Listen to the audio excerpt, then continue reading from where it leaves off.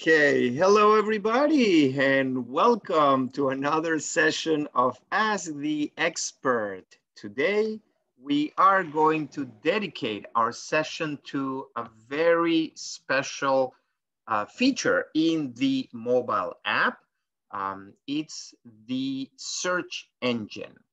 Uh, my name is Daniel Horowitz. I'm the expert genealogist of MyHeritage. I'm working in the company since 2006.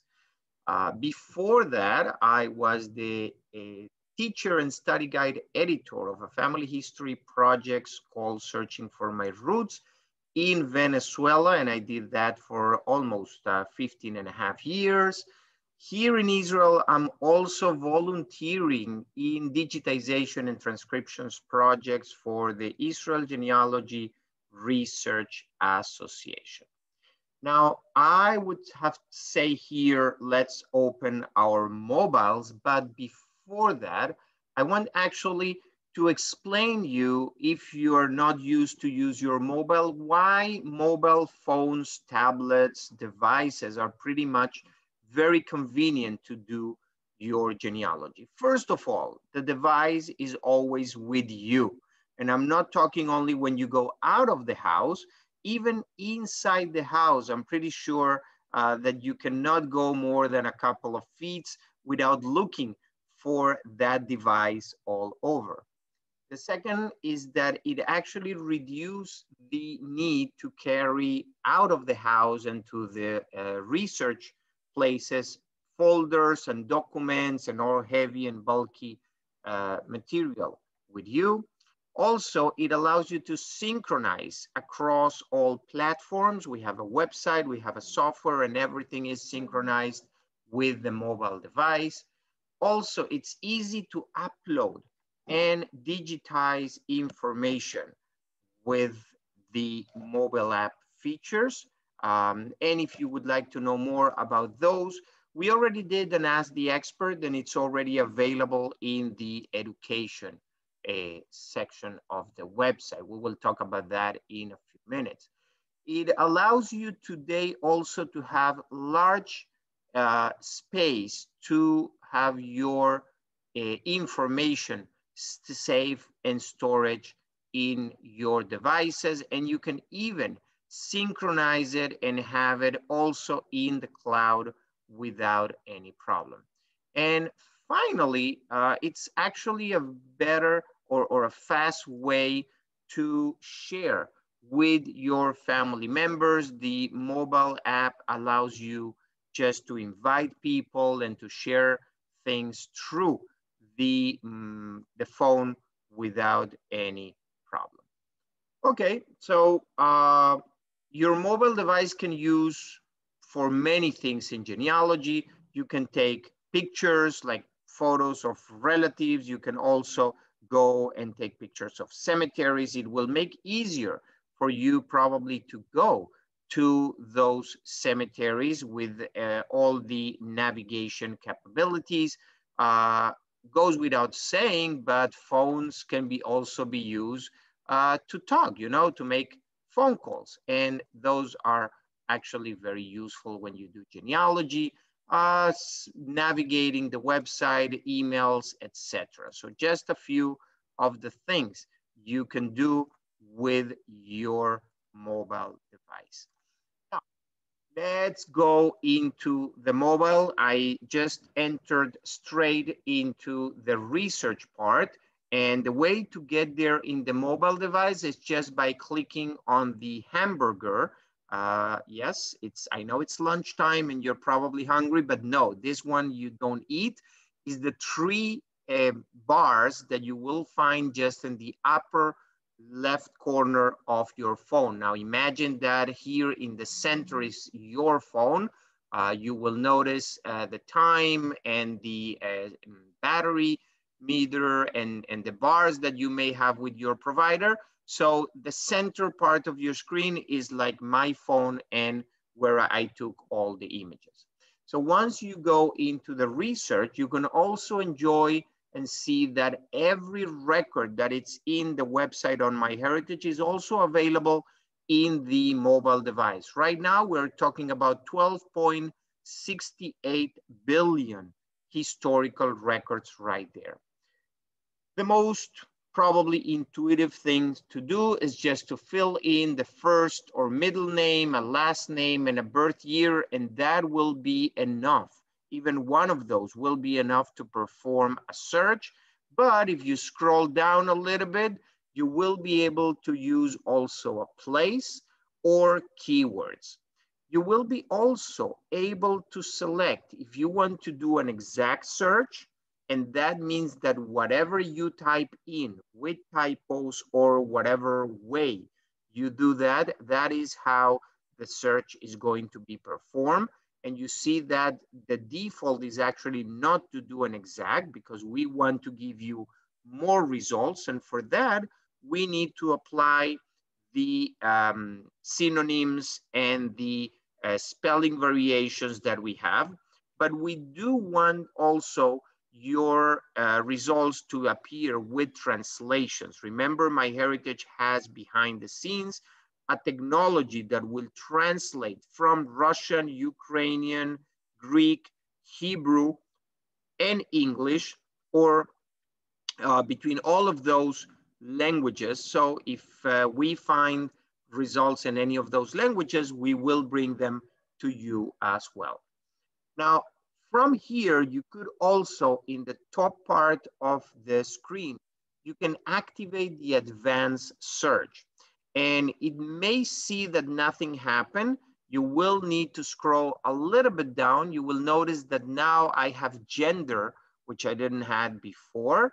And if I scroll down, now I can even add events and relatives. So now it's not just looking for a person, but looking for a person that was born, married, died, or have any other event in a specific time and place. And I can add many events just to make my result more precise. I can also add relatives, meaning the mother or the father or the son, the daughter, the spouse, and that will also focus more your results uh, from all the probably thousands that MyHeritage will have for you, and you can add more relatives as well.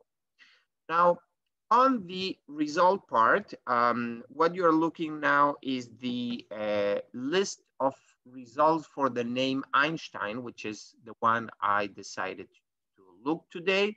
Uh, you see that we have different collections, we have different results. You can just scroll down through the results or, or just with the finger, just move up that and, and it will go scroll down. We will tell you also a little bit more about the person.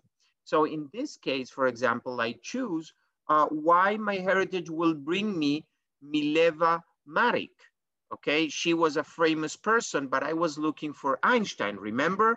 Well, she is not only a Serbian mathematician, she was also the wife of Albert Einstein. So she meets exactly the criteria of my search. I have the birth, the death, the parents, sibling, children, all the information, you will be able to see it from the app without any problem. Another example, uh, this is Elsa Einstein, and this is the second wife and cousin of Albert Einstein. And you thought that endogamy was only in your family, right? Yeah, no. Uh, he also had affairs with family members. Now, I am going back to the beginning because on the top, you will see that all my results are from all the collections that MyHeritage has available for you. In here, you could click or tab into the all collections and you would be able to select a particular collection. Let's say uh, that I want to uh, research in newspapers. Okay, so I have over there, I scroll down, I see how many results I have in each uh, one of the categories. I will tap on the newspapers and I will see only results from the newspapers. In this case, Um, again, uh, as expected, a lot of Albert Einstein uh, from different newspapers and uh, the name is highlighted. So I can see that this is really related to the person that I was looking for. Whenever you want, you can just tab on the name of that record and you will see the details of that record without any problem. If you want more information about this collection, you have here the I for information. Whenever you click there, you will see more information about where this collection is coming. In this case, this is the Ohio newspapers from 1793 to 2009. Um, and just if you think that uh, MyHeritage has only newspapers from the US, uh, no, we have newspapers from almost every place in the world. Okay, and by the way, you could click here more and search in that specific collection from here. But if I'm already here in the uh, Portsmouth Sunday Times from Scioto County in Ohio, I can just scroll down and see the actual image of the newspaper and I will be able to zoom in and even to browse to the different pages of the newspaper and try to find here the uh, place where the uh, person is mentioned. I can keep going down and I can see a kind of a transcription from that newspaper and from that record. And why I'm saying kind of, because this is actually OCR. And OCR, optical character recognition, is not other thing than computers learned how to read. Now, they're very bad students, and as you can see, the OCR is not perfect. But let me give you a trick, and this is what I do also with my computer when I have records from MyHeritage from newspapers or books that are OCR. I actually select all this and I copy it, and then I paste it in the notes of my person. So I don't need to retype the whole information of the article. I just need to go over and make sure to correct all the misspellings. The last thing that MyHeritage is offering you to do here is to write any comments that you have about this record and you can tag and say, oh, this is my uncle, I'm related to this person. If somebody finds this, I will be more than happy to be contact. And that is a way to expand the net of your connections. Now, I brought you today another example in one of my other favorite collection, which is the 1940 US Census, because this is a totally different type of record. This is a structured record. And in here, we know exactly where all the information is. So whenever you scroll down, you can see the name of the people and you will know what is in each of the columns and each of the fields. In fact, you see how it says here, show details. Well, we have hidden that to make it more easy to see, but you can click at any time and you can see all the details of this census. And this is very important because this not only is gonna tell you the enumeration district and the roll number, but also the address, the exact address of the page where the enumerator was actually asking the questions. Same here, you will be able to zoom in and zoom out the image and you will be able to copy.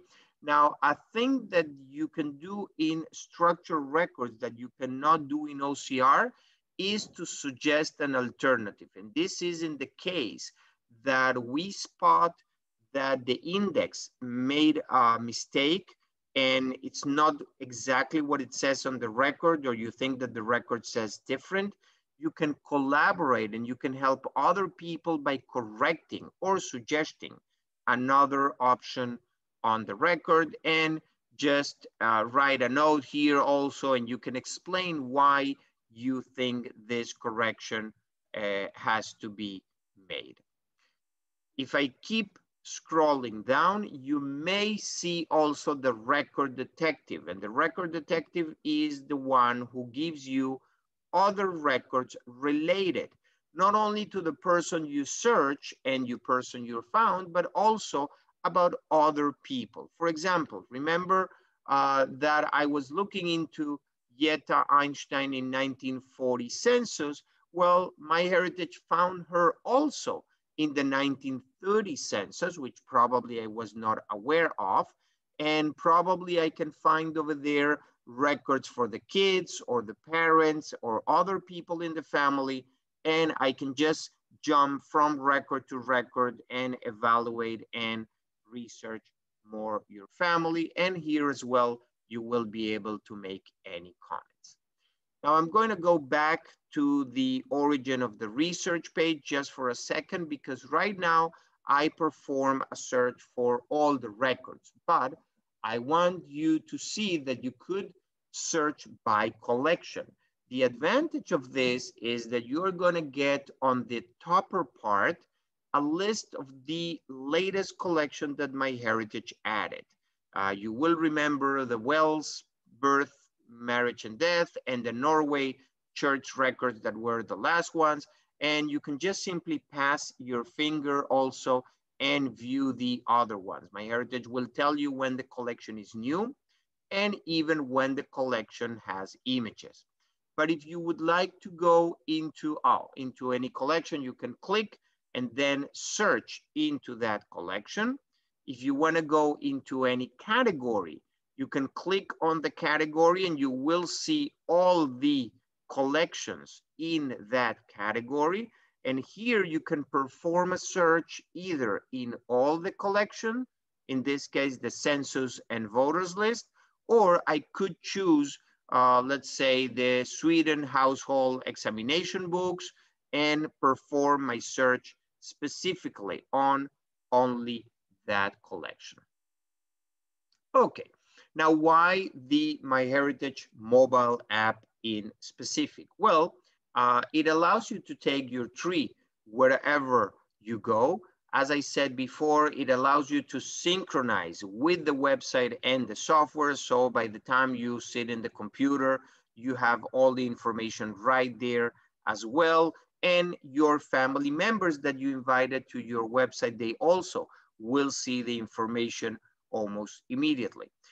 The two um, probably most used uh, part of the mobile app, at least for me, is the option to snap, take a shot of a relative that I'm meeting and I don't have it right away, or whenever I'm visiting somebody and somebody shows me images or photos or documents from my family, I immediately take a snap with the mobile app and the image goes directly into the website.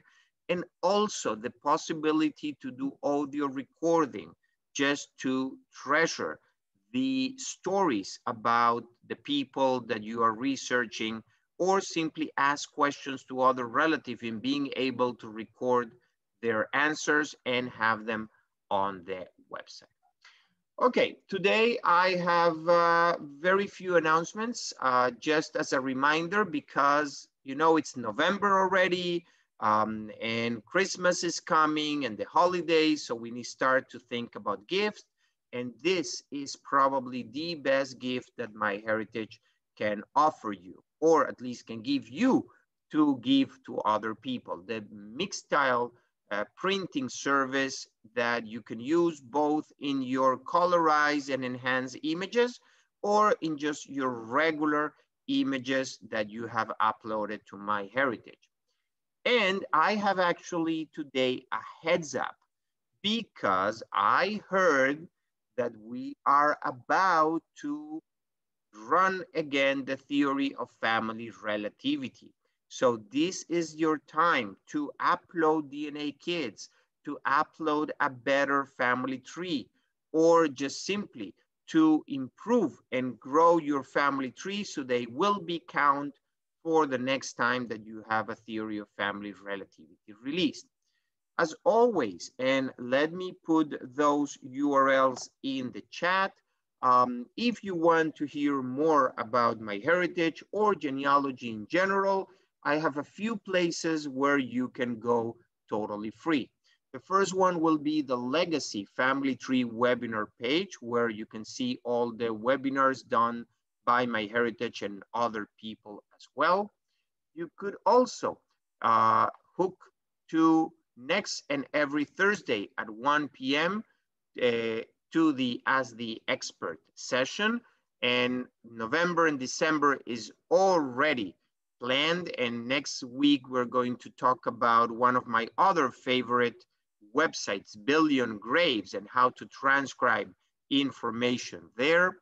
And of course, education.myheritage.com, the place where you're going to find video recordings, lectures, articles, downloadable resources that you can use for free, not even a registration is needed. And if you know other people that could be interested in genealogy, feel free to share all this information with them and let them enjoy a little bit of this pleasure of us.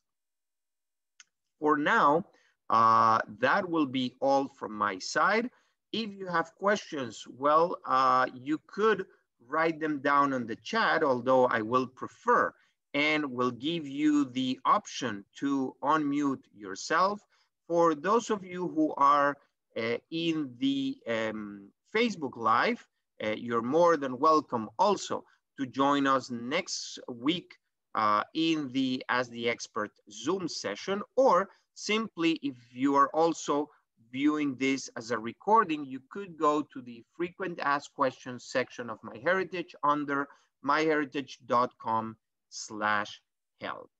So let's uh, allow you to unmute and answer your questions in the minutes that we still have on.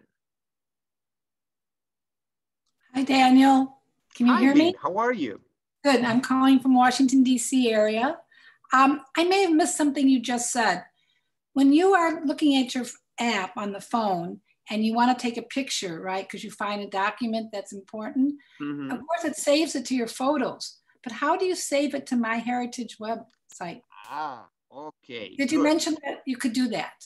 Yes. So what, what you do is you open the app Mhm. and you go to the photo section of the app and you have a plus over there where you can actually take a photo. And that way the photo you're taking goes straight into the app, uh, into the app and into the website. Okay, one more time. So you get to photos first. You go there first. Yes. Then you can take the picture. And there is a, a big plus button Yes, yes, yes. someplace around there. When you click that plus button, it should allow you to take a picture. Okay. And, And that's how you take the picture and it goes up. That's There's really, Mm-hmm. another way. Um, If you want that picture to be related to a specific person, you could go in the tree to that person um, and just on the photo section of that person, you can also click on the plus and add a photo. And then the photo is gonna be um, eh, tagged to that individual as well. well, that's even better because that's what you want to do ultimately. Well, so depending, photos on that, yeah, depending on, on how or, or what type of photo you are taking. Okay. Okay? Thank you. Excellent. Uh, yes, Cassandra. Pleasure Hi. to see you here again. Thank you. Um, it's about the photos. I uploaded some photos through the app. I wanted, I was trying to get them into certain folders by category, but they didn't go there. Now I don't know how to move a photo from one folder to another folder. Okay, so when you upload or take photos from the app, it goes automatically into a default folder that we call family photos. The best way is actually to do it, or, or the easiest way, it's actually to do it on the website because on the website, you will be able to go to the photo section. You will see that image uh, among the first ones because we show you the latest photos that you have uploaded. And then you can select the photo and say, save it to an album. Okay, and that is how you assign a photo also into the uh, particular album. If you put it in the wrong album, how do you move it to another album? Well, you go into the album, you select the photo, and then you choose remove from album. Now oh. that oh. will not delete the image. That will just take the image out of the album. Okay. Good? Good, thank you. Okay. Um, I see here a question from Stephanie. Uh, many graves, headstones do not have an English interpretation. Well, I will say English words. Uh, what is the best way to verify the names? Um, well, uh,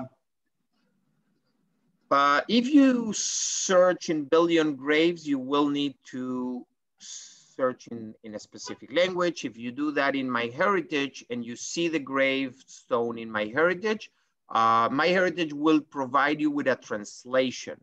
Uh, otherwise, you will be able to copy and paste with use Google Translate probably. Uh, I know another trick is if you take Google Translate on your mobile device, talking about mobile devices, Google Translate in your mobile has an option to point with the camera to a text and translate that text from a picture.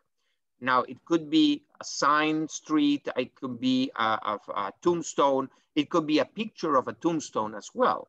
So those are the ways that you could translate and interpret the uh, tombstone. Uh, Francine, yes, how can yes. I help you? Yes, this is um, a little bit different. Uh, I was sent a, uh, a uh, genealogy of people that are in my family a, a match mm-hmm. of people that are in my family. And I know by the dates of birth and, and death and the family members that they're part of my family. However, this person has it on her tree and she has them buried out in Oklahoma or someplace like that. My family is buried in New York City. So I'm pretty sure it's my family because everything else uh, coincides. The names of the children that were born at the time, the names of the mother and the father, and and that sort of thing, but different location. So how do I handle that? I made well, the correction in my in my genealogy for my okay, chart. So let's start by first acknowledging that there is a 1% chance you are wrong and they are not your family, okay? But mm -hmm. having said that, let's say that those are your family. Uh, if you know that you are right, okay? And those people are not buried where the other person says, you can contact the other person and explain that this is part of your family, that you have done research and you have proved that these people are buried someplace else. Now, the other person can answer, can ignore you, uh, can change, cannot change, can do whatever they want. This is still a free world and please let's keep it like that. Uh, now, um, the other thing is uh, that if, if you think that you are wrong, uh, you could still ask the other person for uh, their reasons or their proof uh, of what they're saying. And, and then you will need to go into your research and change it. Uh, that's mm-hmm. uh, all the possibilities that you yeah. have with the genealogy research. So that leads me to another question. How do you encourage somebody else to answer the messages that you've sent to them? I mean, I'm getting matches all the time, and I'm really I'm following through on the ones that are first cousin or sometimes even second cousin. Francine, and, how many times you have called a relative and they don't answer the phone? Okay. okay. Yep there's nothing we can do, unfortunately. You can keep sending emails and they can keep ignoring you. Mm -hmm. yeah. Okay. Sometimes, sometimes it may happen that they change their email addresses and they didn't update MyHeritage and then we're sending image mails to the wrong address. Uh, or they have the inbox full and it's, it's bouncing. But there's really nothing that okay. you, I, or MyHeritage can do against that. Yeah, I do appreciate getting an email message that there is a message in my box. Otherwise, I might not look at it either. Exactly, exactly, and that's that's the idea. Like keeping your email pr address private, so nobody else will know what it is, but keeping you up to date of what's happening with mm -hmm. your inbox in MyHeritage. Okay, thank you. Uh, I have time for probably one or two more questions. Uh, and uh, VGale is saying that sometimes, sometimes they are not checking their email box on a frequent basis. Well, I don't know how people can live without checking their inbox every five minutes, uh, but that's only me. What can I tell you? And I use my phone also to do that. After all, besides that and genealogy, I don't know what else is to do these days in the world. Um, anybody has any other question? Question. And this might once. not be the forum for this, but um, I I suddenly can't log into my MyHeritage account. It's asking me for two parties um, authentication, which I never knew that I had set up. I don't believe I set it up, but it's telling me open my authenticator app. The authenticator app gives me a code. I put the code in and it tells me it's the wrong code. So we don't have to discuss it here if you don't have the time, but if you could just point me in the right direction to somebody uh, I could uh, talk to. to well, to unfortunately, Dave, um, I have very few things that I can tell you about. Like if the, the two-factor authentication is great. Um, and I, uh, I agree.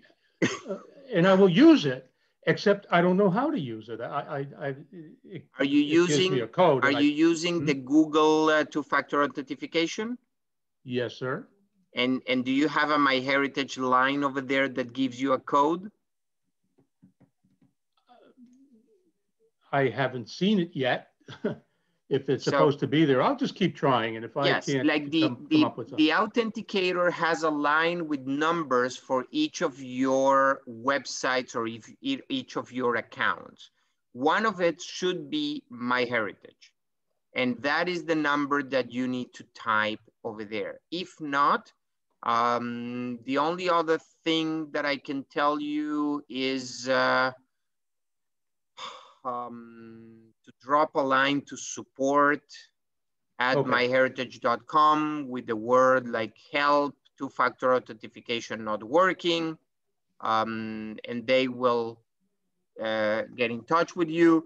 Um, if you have not solved that, like in the next couple of hours, just drop me an email and I will uh, see if I can hook you up with uh, somebody there more direct. I appreciate that. Okay. Uh, Helpful as usual, Daniel. Thank you. I do my best. Uh, Francine, mm-hmm. Francine, one more thing. Wait one second. You need to unmute. Um, I have two phones and I can do all the research on one phone and answer uh, any of the, uh, open any of the emails and whatever on one phone. But on the second phone, it, appears that I am not recognized at all, even though I'm using the same email address. How do well, I?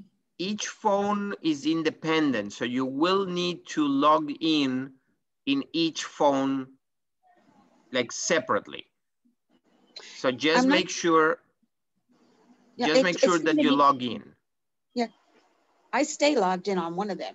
And the other one, I, I, I, I had logged in, and now I'm getting a say the message that says that it's a, unrecognized. This phone well, is unrecognized. Probably what's happening is that when whenever the app the the app updates, uh, you need to it's running from from the beginning, let's say, and you are not logged in anymore because okay. it's kind it's a new version of the app.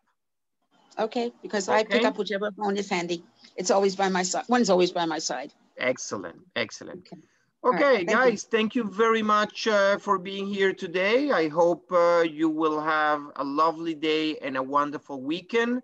Uh, hope you. to see you the next time. And in the meantime, just why not make a little bit more of genealogy research. Goodbye, everybody. Bye, Daniel. Bye, Daniel.